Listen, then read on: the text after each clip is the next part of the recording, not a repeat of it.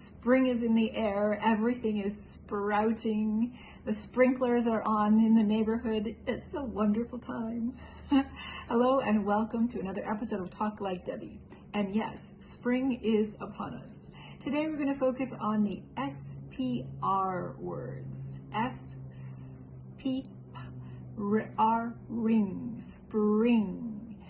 Spring is my favorite time of the year because things are sprouting. The, the buds are on the trees, the flowers are about to bloom, everything is coming alive again. So uh, the SPR words, we have spring, uh, a shopping spree. We also have sprinkler. Uh, the waters, the, everybody's watering their gardeners with sprinklers. Our children like to play in the sprinkler. We have sprint. When you run uh, really quickly, you have a sprint. We also spread peanut butter on your on your toast. Spread.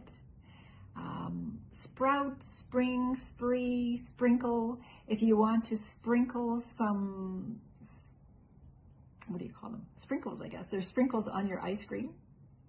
And that's about, those are all the SP words that I have for you today. SPR, spring, sprout, uh, spree, shopping spree. Are you ready? I hope you're having an awesome day. Subscribe to my channel and we'll see you on the next one. Bye for now.